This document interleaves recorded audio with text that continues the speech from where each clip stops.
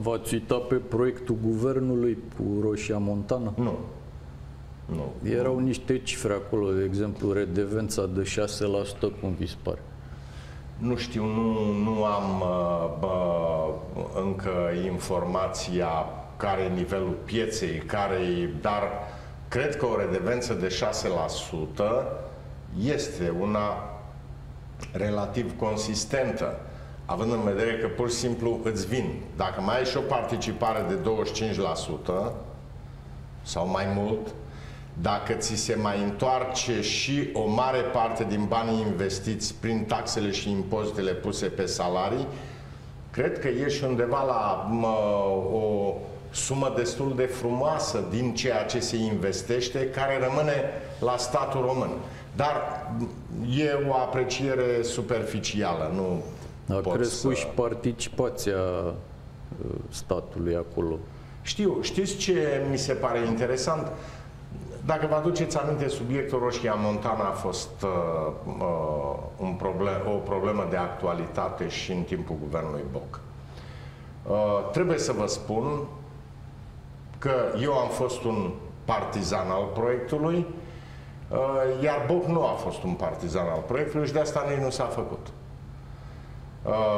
în timpul uh, lui Emil Boc. Uh, știu discuțiile pe care le-a avut Emil Boc cu Gold Corporation, că erau redevențele de 2% să le crească la 6% și participarea uh, companiei românești de la Baia Mare era de 19% și a cerut 25%. Uh, cifre la care el ajunsese în negociere și a spus aici am ajuns, dar politic eu nu pot să uh, dau drumul acestui proiect. Zice, nu cred în el. Asta era părerea lui Boc. Uh, și sigur, n-am forțat nota pentru că uh, nu poți să faci ceva împotriva conștiinței unui om. Dacă înțeleg bine, pentru că n-am văzut încă proiectul, practic uh, uh, Victor Ponta a rămas la aceleași cifre Uh, la care ajunsese Boc în negociere. N-a mai adăugat un procent. Dar vă aduceți aminte ce țipa Victor Ponta? Câți bani a luat Băsescu din aurul de la Roșia Montană? Și nu semnase încă nimeni, doar îmi exprimasem un punct de vedere. Acum îl întreb eu. Ponta, câți bani ai luat ca să semnezi Roșia Montană? Deci... Că așa e viața. Nu poți să fii uh, inconsecvent în problemele mari ale țării. Nu poți să fii inconsecvent. Și trebuie să-l întreb exact ce mă întreba el pe mine când susțineam proiectul. Iar eu vă spun și acum în continuare, rămân un suporter al ideii că trebuie să relansăm mineritul.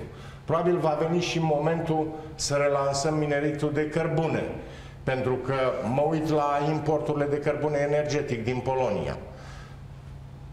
Vine un moment când prețurile uh, se, îți permit reluarea exploatării unor zăcăminte.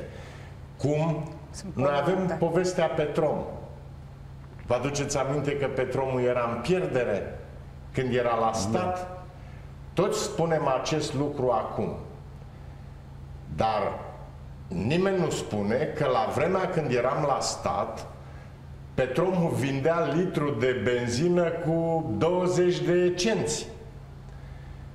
Uh, dacă Petromul ar fi putut să vândă la prețul pieței, cum vinde acum OMV-ul, cu siguranță ar fost în altă situație financiară. Asta fără să încerc să ascund faptul că era căpușat Petromul. Era căpușat.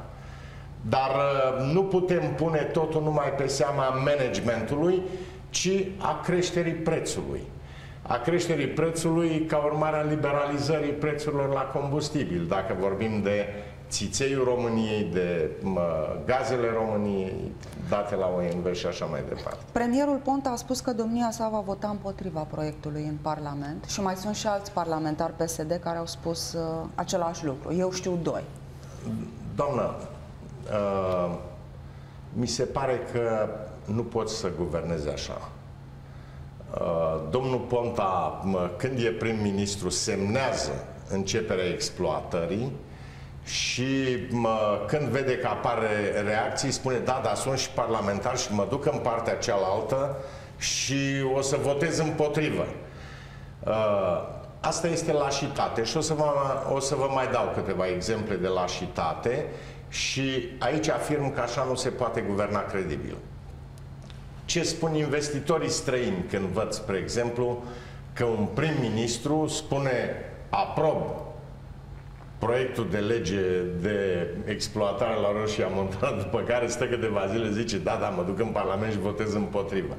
Ce aia? N-ai o politică, ești inconsecvent. Și, repet, vă voi da câteva exemple.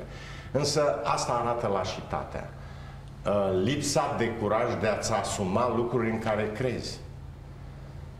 Ori o țară nu se poate conduce cu lașități. Vă aduc aminte că același tip de lașitate l-a avut la privatizarea CFR Marfa.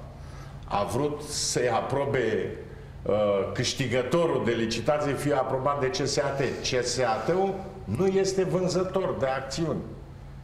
CSAT-ul avea treabă doar cu asigurarea transporturilor strategice. Și s-a îngrijit să fie introdusă în strategia de privatizare această obligație. În rest, cine câștigă, da, cum Dumneavoastră, câștigă? ce problemă aveți totuși cu CFR Marfă? Pentru că chiar azi ar trebui să se semneze privatizarea. Cu privatizarea în sine aveți o problemă, adică vedeați altă soluție sau cu investitorul respectiv, grup feroviar român? Nu, nici nu, nu-l cunosc pe mă, E cel totuși care un vrea să investitor fie... important. A luat cel și care- căile ferate în Croația de marfă. Nu știu dacă le-a luat, cum le-a luat, nu știu, însă eu mă uit la viață, știți? Vârsta pe care o am mă obligă să utilizez în deciziile mele sau în abordările mele și experiența de viață. Au fost foarte mulți uh, așa numiți investitori de carton care au fost umflați de guvernele succesive ale României uh, prin relațiile politice pe care le aveau. Uh, Că a fost vântul, că a fost Patriciu, că a fost uh, amărâtul ăstălalt care e acum în pușcărie, Iordache, nu mai încăpea nimeni de contracte mă, la Administrația Națională a Drumurilor. Și până la urmă, dezvoltarea asta forțată, cu sprijin uh, personalizat dintr-o parte sau alta a politicului, n-a dus decât la colapsuri, la rateuri. Pentru că nu poți să te umfli peste noapte să devii un gigant când tu mă, ai plecat de la o locomotivă și două vagoane cu trei ani. Când tu ești cel care a drenat resursa din compania CFR Marfă, iar acum vii să o cumperi. Uh, Pe de o parte. Pe de altă parte, eu mi-am dorit un investitor strategic. Dacă vă aduceți aminte, în faza inițială, CSAT-ul a respins strategia de privatizare pentru că mă, s- m- Victor Ponta vroia o privatizare ca la, ca la Olchim, cu strigare. Ori eu am spus în CSAT, mă, oameni buni, discutăm de o companie gigantă, de una din cele mai mari companii de transport din Europa Centrală și de Est. Uh, În condițiile astea nu mă interesează strict unul care găsește bani la bănci și îmi cumpără 51% și cu asta s-a terminat. Mă interesează ca privatizarea să facă cu o companie care pe urmă îmi dezvoltă și îmi modernizează această companie pentru că urmează perioada de liberalizare a transportului feroviar în Uniunea Europeană. Nu poți să mai mergi cu locomotivele de acum 30 de ani care sunt mari consumatoare de energie electrică sau de motorină, depinde despre care vorbim. Nu poți să mai mergi cu vagoane cu greutatea asta atât de mare, uh, m- vagoane făcute acum 20-30 de ani, când în căile ferate europene au intervenit tehnologiile noi. Deci esența, mie nu mi se pare neapărat privatizarea, vânzarea a 51%, esența mi se pare capacitatea investitorului de a moderniza rapid compania, de a o face competitivă pe piața europeană și de a o face competitivă cu sectorul auto din România. Sector auto care e mult mai dinamic decât căile ferate române, ceea ce este nepermis. Mult mai dinamic în condițiile în care infrastructura rutieră este dezvoltată doar atât cât este dezvoltată. Dar aș vrea să vedeți peste 2 ani, peste 2 ani România va avea 400 de kilometri de autostradă mai mult. Nu vorbesc de vise, vorbesc de ce este contractat și în execuție. Toată mă, mă, autostrada de la Sibiu până la Arad este contractată în momentul de față.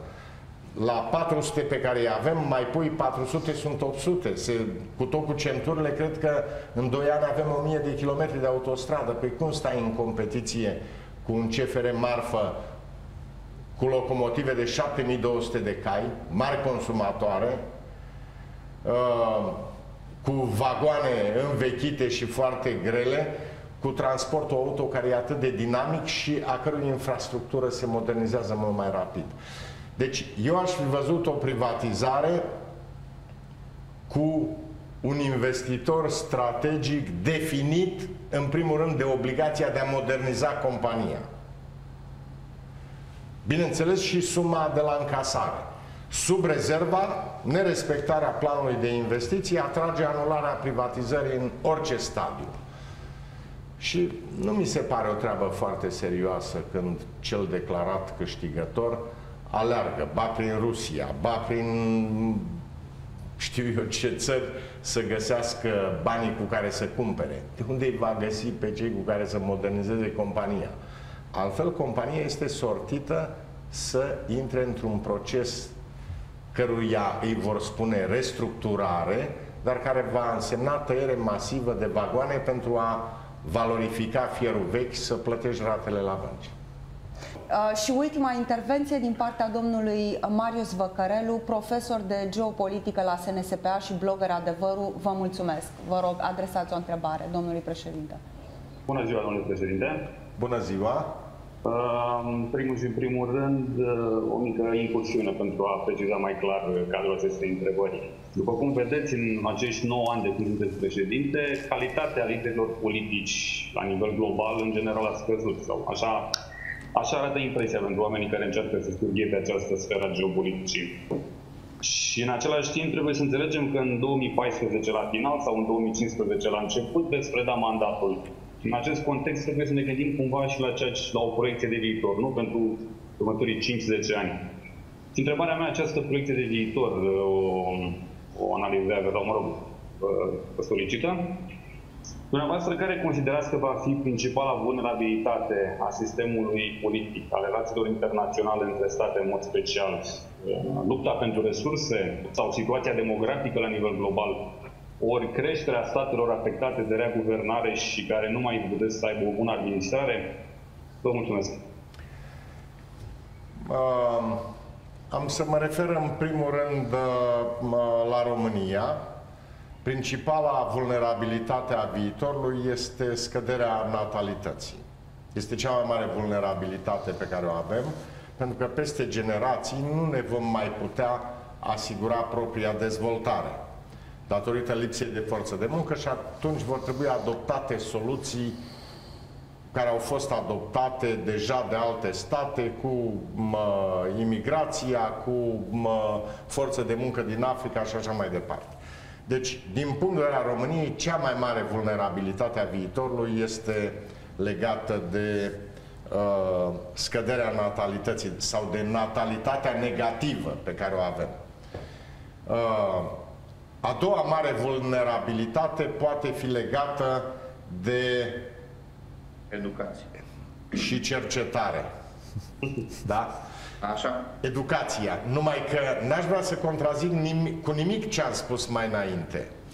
Uh, educația în licee, după părerea mea, în liceele teoretice, este la un nivel acceptabil și creează premize să ai foarte buni specialiști în universități.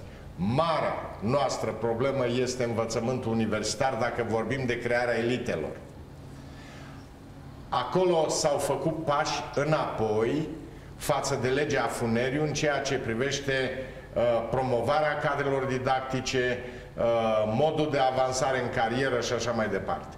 Deci este o vulnerabilitate aici, dar Dacă discutăm de educație, uh,